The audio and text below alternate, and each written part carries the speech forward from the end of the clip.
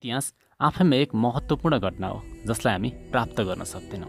तर जसको अध्ययन गरेर बितेको समयको बारेमा थाहा पाउन सक्छौँ। दर्शकबिन आजको भिडियोमा हामी नेपालका एक अत्यन्तै महत्त्वपूर्ण शासक अथवा राजा जयस्थिति मल्लको बारेमा तयार पारिएको भिडियो सामग्री प्रस्तुत गर्नेछौँ। त्यसैले तपाईँलाई यो भिडियो कस्तो लाग्छ कृपया कमेन्ट गर्न भने नछुटाउनुहोला।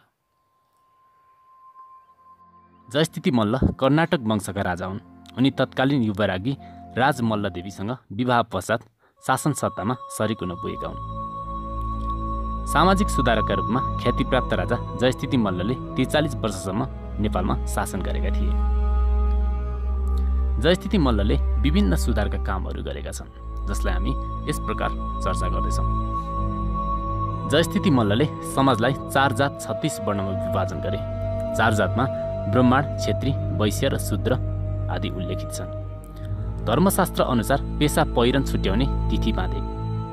तल्लो जातको आइमाईले माथिल्लो जातको लोग्ने मान्छेसँग विवाह गरेमा त्यो लोग्ने मान्छेको जात तल झर्ने कुरा उल्लेख गरिएको छ।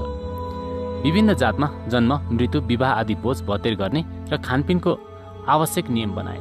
नेवार समाजमा दैवज्ञ श्रेष्ठ आचार्य र वैद्य जस्ता उच्च स्तरका थरहरू कायम गरे।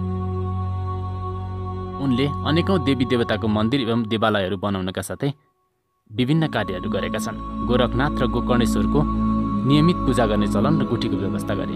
भैरवको मूर्ति स्थापना गरे। पशुपतिको आर्यघाट बागमती किनारमा लवकुश सहित राम मन्दिर ललितपुरमा कुम्बेश्वर मन्दिर आदि निर्माण गराए। आर्थिक सुधार गर्न जग्गालाई अब्बल दोयम सिम र चहार गरी चार भागमा विभाजन गरे।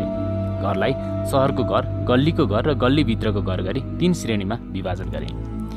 निजी जग्गा बन्धक राख्ने बिक्री गर्न पाउने व्यवस्था नापतौलमा समानता ल्याउन मानापाती करुवा चौथी धार्नी छटक र तोलाको चलन चलाए। अपराध धेरै आर्थिक दण्ड दिने चलन समेत जयस्थिति मल्लले चलाएका हुन्। यिनले बाली लाग्ने जग्गा नाप्नेलाई क्षेत्रकार घरको जग्गा नाप्नेलाई तक्षकार भनेर चलन चलाए। संस्कृत भाषाका ठुला विद्वान थिए जयस्थिति मल्ल रामायण र भैरवानन्द नाटक उनले लेखेका थिए। राजघरानाको रथयात्रामा सबै जनता सामेल हुनुपर्ने। दाह संस्कारको समयमा दीपक राग जलाउने चलन आदि यिनले चलाएका हुन्। अन्य जातको दाह संस्कारको बेला कलाह भन्ने लामो बाजा बजाएर शोक प्रकट गर्ने चलन समेत यिनले चलाएका हुन्।